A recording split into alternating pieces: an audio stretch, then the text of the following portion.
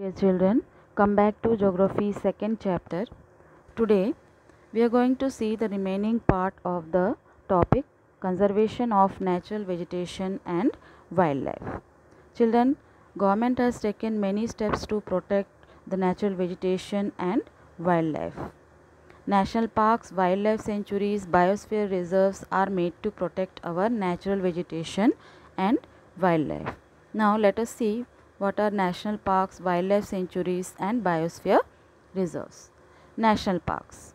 The reserved forest in which natural vegetation, natural beauty and wildlife are preserved in their natural environment. Wildlife sanctuary a reserved area for preserving its nature, vegetation, natural beauty and wildlife.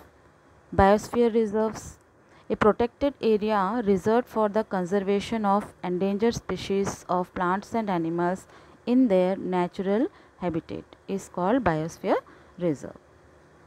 Conservation of creeks. Creeks here means a natural stream of water. Lakes and wetlands is necessary to save the precious resource from depletion. There is a balance in the environment if the relative number of species is not disturbed. Human activities in several parts of the world have disturbed the natural habitats of many species. Due to indiscriminate killing, several birds and animals have either become extinct or are on the verge of extinction. Children, human beings are also integral part of the ecosystem. The vegetation and the wildlife are utilized by them, but due to greed, man over utilize these resources. The ecological imbalance is created by them as they blindly cut the trees and kill the animals. As a result, some of the plants and animals have reached in the verge of extinction. Awareness programs like social forestry and Van Mahotsav should be encouraged at the regional and community level.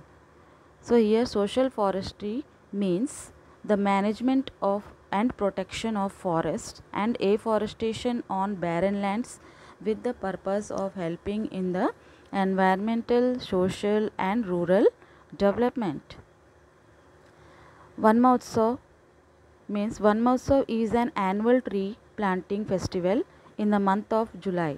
During this festival, thousands of trees are planted all over the India. It was started to create awareness in the mind of people for the conservation of forest and planting of new trees.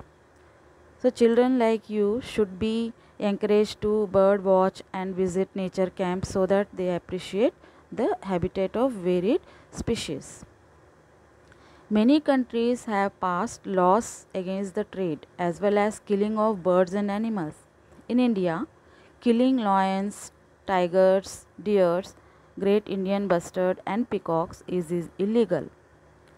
An international convention CITES has been established and that lists several species of animals and birds in which trade is prohibited. Conservation of plants and animals is an ethical duty of every citizen. Here CITES, the full form of it is the Convention on International Trade in Endangered Species of Wild Flora and Fauna. It is an international agreement between governments. It aims to ensure that international trade in species, specimens of wild animals and plants does not threaten their survival. Thank you.